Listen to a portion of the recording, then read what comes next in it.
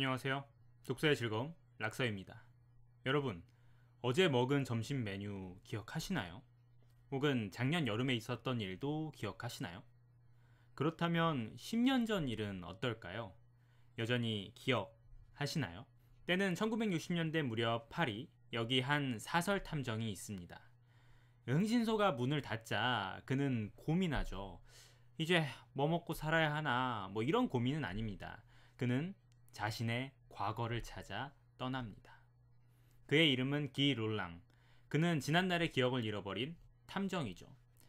지금이어도 기억을 잃고 되찾기가 어려울 텐데 당시엔 뭐 더더욱 그랬겠죠.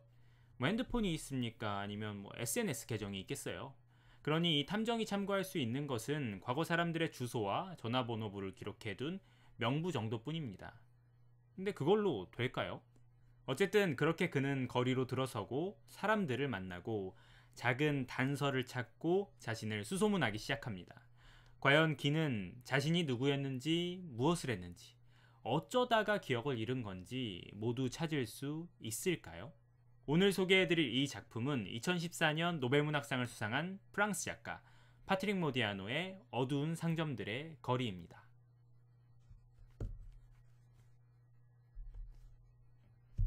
이 모디아노의 작품들은 참 독특해요. 일관성이 있다고 해야 할까요? 그의 작품은 대부분 기억과 정체성에 대해 이야기하거든요. 그리고 이를 표현하는 방식의 모디아노의 특징이자 매력이 드러납니다. 이 모디아노의 작품은 모호합니다. 좀처럼 명확한 게 없어요. 어두운 상점들의 거리를 읽어보신다면 분명 금방 느끼시게 될 거예요. 각종 단서를 따라가며 주인공 기가 자신의 정체라고 생각했던 것들이 곧이어 뒤집어지고 새로운 가능성이 계속 등장하거든요. 그때마다 기는 이 사람이 되었다가 저 사람이 되었다가 합니다. 정체를 알 수 없는 주인공의 1인칭 시점에서 진행되는 이야기. 참 독특하죠? 그리고 말씀드린 것처럼 이 독특한 모호함이 분명한 모디아노의 매력이죠. 어두운 눈길을 걷는 느낌이랄까요? 그래서인지 노벨문학상 수상 이후에도 간략히 이렇게 표현되어 있습니다. For the of memory with which he has evoked the most ungraspable human destinies and uncovered the life world of the occupation. 붙잡을 수 없는 인간의 운명을 기억의 예술로 환기시키고 나치 점령기의 생활 세계를 드러냈다. 창문에 들러붙는 수증기처럼 지워질 듯 지워지지 않는 인간의 삶. 모디아노의 이러한 특징은 그가 태어난 시대와 그의 유년 시절의 삶이 크게 작용했습니다. 먼저 그가 태어난 시기는 1945년 7월 30일, 제2차 세계대전이 끝나기 채 한 달이 남지 않은 시점입니다. 전쟁이 끝나가는 시기, 그리고 이후 모디아노가 성장했을 시기는 전후 상처가 여전히 아주 크게 남아있던 때였죠. 많은 사람들이 소리소문 없이 사라졌던 비극의 시기였습니다. 전후시대의 혼란이 이런 갓 태어난 세대에게 영향을 미치지 않았을 리는 없겠죠. 또한 모디아노의 개인사 역시 그렇게 화목하지만은 않았습니다. 모디아노의 아버지는 부친이 유대계라 전쟁에서 살아남기 위해 바빴고요. 벨기에 출신 여배우였던 어머니 역시 모디아노를 돌보지 않았습니다. 결국 모디아노는 어린 시절 두 살 어린 사촌 동생 루디와 함께 외할머니 밑에서 자랐죠. 이런 배경을 생각하면 모디아노의 작품이 기억과 정체성, 그리고 트라우마, 독일 점령하의 시기를 주로 다루는 것을 이해할 수 있을 것 같네요. 나는 아무것도 아니다. 그날 저녁 어느 카페의 테라스에서 나는 한낱 환한 실루엣에 지나지 않았다. 작품의 서두입니다. 참 오묘하죠. 어두운 상점들의 거리를 읽을 때에는 당연히 기억에 대해서 생각하게 됩니다. 주인공 기의 여정을 따라가다 보면 우리가 참 기억을 하는 방식이 다양하다고 생각이 들어요. 가장 명확하게는 기록이 기억의 매개체가 되겠지만 이 외에도 많은 매개체가 존재합니다. 예를 들어 장소가 있겠죠. 주인공 기는 참 많이 돌아다니며 많은 곳을 둘러봅니다. 그리고 매번 시선을 허투루 던지지 않고 이 장소엔 내가 있었을까?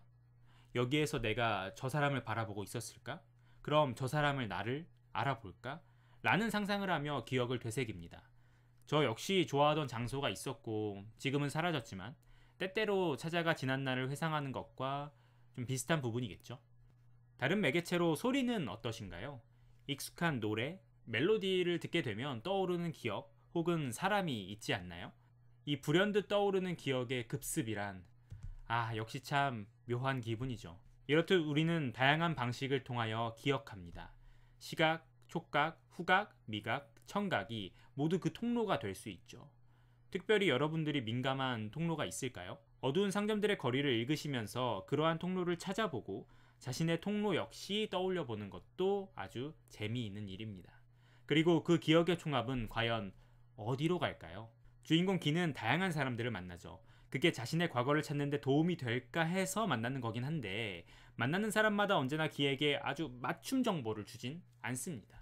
대부분 자신이 기억하는 사람에 대한 추억을 떠올리며 거의 최면에 걸리듯 홀로 기억 속으로 여행을 떠나죠. 그리고 이 작품에서 참 재미있으면서도 쓸쓸한 표현이 있는데요. 기가 사람을 찾다 하도 뭐 이것저것 봤다 보니 이렇게 이야기하거든요. 결국 모든 것이 초콜릿이나 비스켓의 낡은 상자들 속에서 끝장이 나는 것이었다. 뜨끔하네요. 사실 우리 역시 지난날의 편지, 사진, 선물 등을 조그만 상자에 보관하잖아요. 설령 그것을 추억할 사람이 사라졌다 하더라도 상자는 남겠죠. 이쯤 되니 기억에서 타인의 역할이 얼마나 중요한지도 깨닫게 됩니다. 기억은 온전히 나만의 것이 아니라는 것이죠. 그 기억을 만들고 보충하고 추후에 되새겨 주는 것은 타인의 기억, 문서, 기록들이기도 하니까요. 그를 통하여 완전히 까먹었던 기억이 되살아나고 혹은 잘못 알고 있었던 기억이 수정되기도 하죠. 그러니 우리가 기억하는 모든 것에는 나의 주관적 기억과 타인의 주관적 기억 및 객관적 기록이 섞여 있다고 해야겠습니다. 하나의 기억을 구성하는 주체가 여럿일 수 있다는 것이지요. 인간은 사회적 동물이라는 말이 여기서 다시금 떠오르네요. 이렇게 기억의 부정확성을 생각하다 보면 여기서 정체성이라는 키워드가 뇌리를 탁 하고 스칩니다.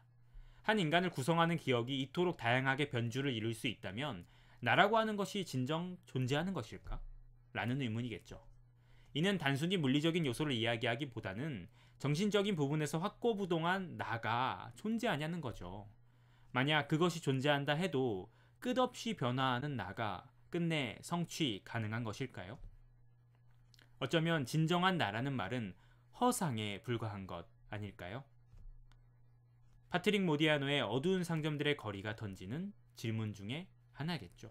작품에 대한 이야기를 마무리하면서 저는 이런 생각을 하게 되었어요. 아시다시피 우리 인간은 삶을 연속적인 선이라고 이야기할 수 있죠. 시간은 똑딱똑딱 흐르고 우리는 그 시간을 선처럼 지나오잖아요. 그러나 우리의 지난 삶을 되돌아보면 우리는 결국 점으로 기억되더라고요. 제 아무리 가까운 과거일지라도 말이죠. 주인공 기의 과거를 찾기 위한 노력이 비단 그의 특별한 상황에서 기인한 특이한 행동이라고 볼 수는 없죠. 우리 역시 우리의 과거를 잊고 찾고 만들게 되니까요.